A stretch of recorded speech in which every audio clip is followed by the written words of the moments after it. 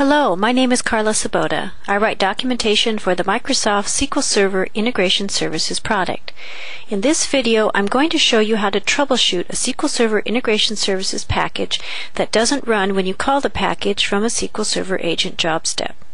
The package does run successfully outside of SQL Server Agent. You'll learn the recommended methods for resolving this issue, including creating a proxy account, modifying the package protection level property setting, saving sensitive data in a package configuration file, and storing a package in the SQL Server MSDB database.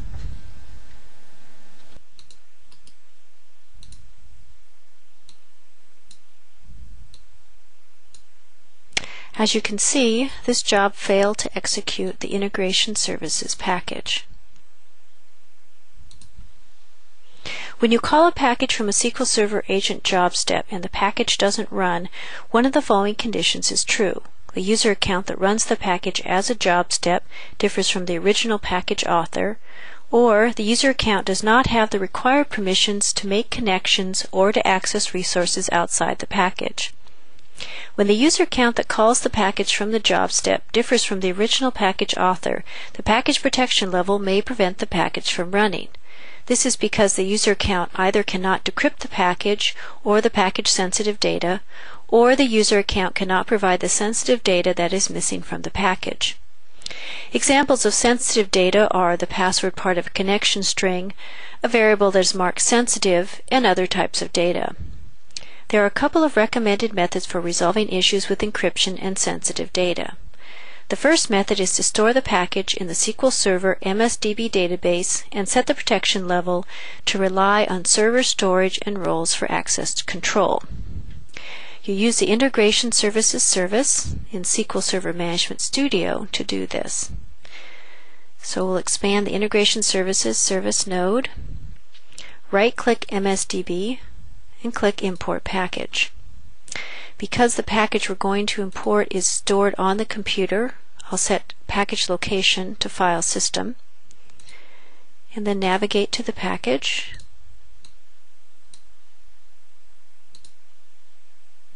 Now we need to change the package protection level.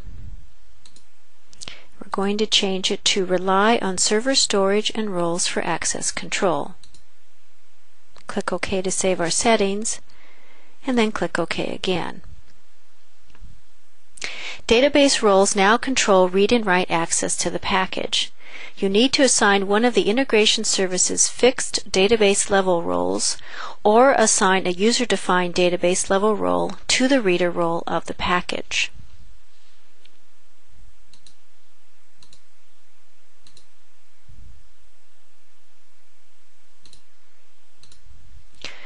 The fixed database level roles include the DB SSIS admin role, the DB SSIS LTD user role, and the DBSSIS operator role.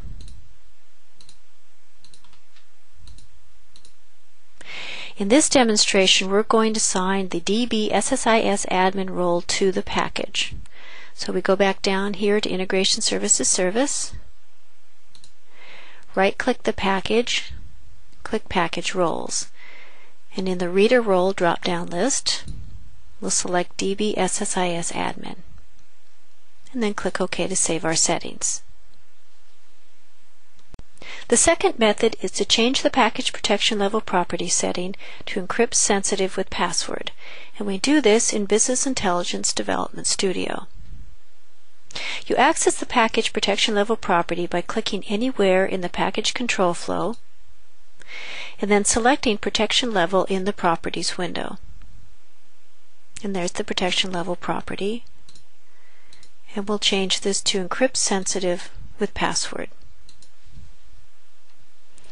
Next, you modify the SQL Server Agent job step command line to include the password that decrypts the sensitive data. You add the password using the decrypt parameter of the DTExec command prompt utility. SQL Server Agent job step uses the DTExec utility to run packages. So we switch back to SQL Server Management Studio. Now we're going to edit the properties of the job. Navigate to Steps and select the job step to edit it. And then we open the Command Line tab. We select Edit the command line manually. And then in this box, we type the parameter.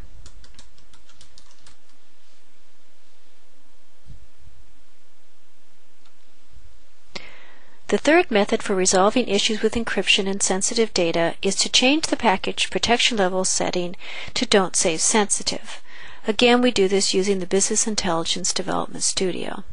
So we click anywhere in the package control flow, and then in the Properties window, we navigate to the Protection Level property, and this time we're going to save it, change it to Don't Save Sensitive.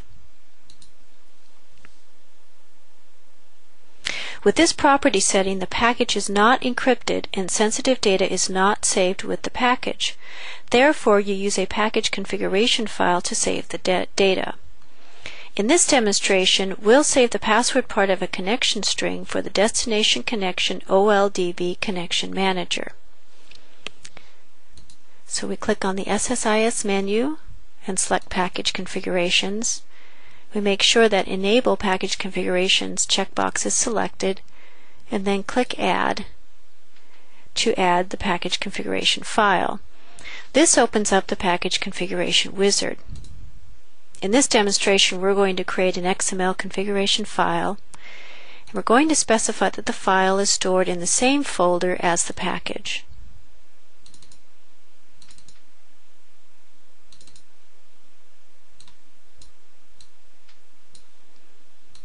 And we're going to name the file Basic Package Configuration.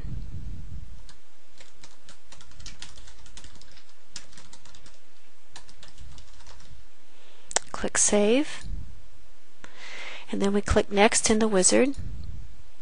Now we need to select the password property in order to have it saved in the file.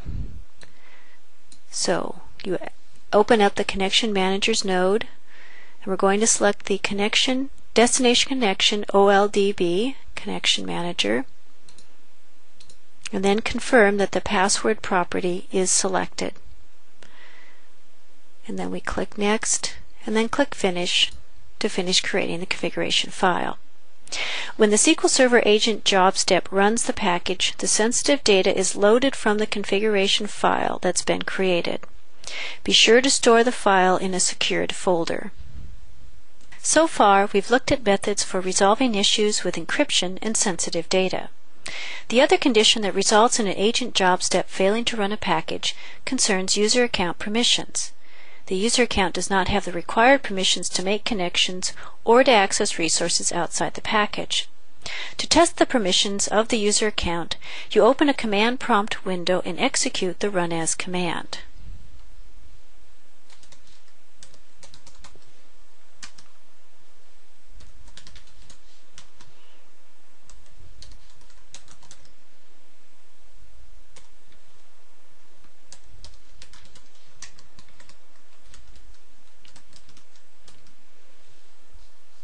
You replace my domain slash my user with the authentication information stored in the account credential. You type the password for the account when prompted. The recommended method for resolving the permissions issue is to create a SQL Server agent proxy account that has the required permissions. The proxy account also decrypts sensitive data in the package. Keep in mind that this method may fail if you move the package to another computer and the package protection level property is set to encrypt sensitive with user key or encrypt all with user key. To create a proxy account, you must be a member of the sysadmin fixed server role, or you must be a member of the SQL agent operator role, SQL agent reader role, or SQL agent user role in the MSDB database.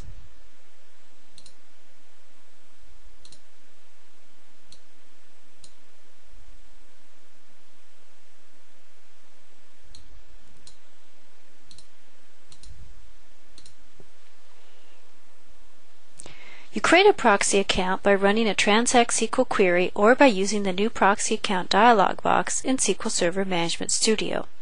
We'll use the new proxy account dialog box. So we right-click Proxies and select New Proxy to open up the dialog box. On the General page, you specify the name and credential for the new proxy account. We'll name the account Package Proxy and select an existing credential called User1 that contains the authentication information.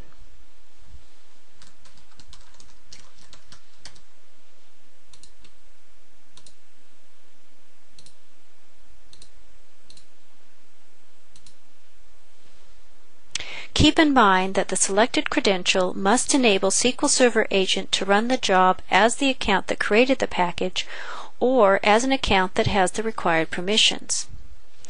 You also need to specify the subsystem for which the proxy is enabled. Because the job is running a package, we'll select SQL Server Integration Services Package Subsystem. The proxy description is optional. On the Principals page, you can add or remove roles to grant access to the proxy account. Members of the sysadmin fixed server role have automatic access. Now we'll click OK to save our settings.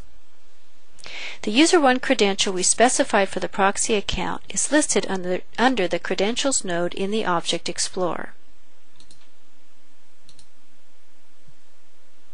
You can create a new credential by running a Transact SQL query or by using the New Credentials dialog box. You open the New Credentials dialog box by right-clicking Credentials and then selecting New Credential.